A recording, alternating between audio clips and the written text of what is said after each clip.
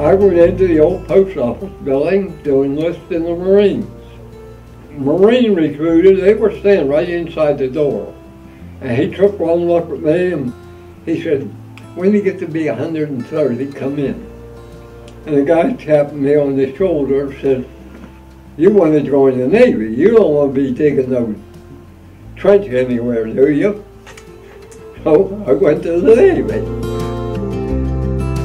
I was in, called back in 1950, and uh, I went on this aircraft carrier where we were training pilots.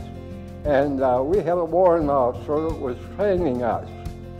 And he had been on a carrier during World War II that had been kamikazed and sunk. And uh, he said to me, you just get to the pilot. That's all you think about. He says, if you join him, it's okay. He says, but if he gets one burn, I'm going to take you back to the fantail and kick your butt off the carrier.